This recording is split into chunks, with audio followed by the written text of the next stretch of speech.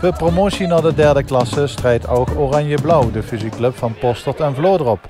Maar zie kwamen tegen Obbig geen moment in de wedstrijd. Na ongeveer een half uur spelen sting de ploeg op 0-2 achterstand. En ondanks dat de ploeg het in de tweede helft nog wel probeerde, lukte het ze niet om te scoren tegen Obicht. Door de remote van Ram maakte Lars Tonen er voor de gasten ook nog 0-3 van. En dus moet ook Oranje-Blauw drie doelpunten wegpoetsen in de uitwedstrijd bij Obicht komend weekend. Het lijkt er dus op dat promotie naar de derde klasse er voorlopig niet in zit.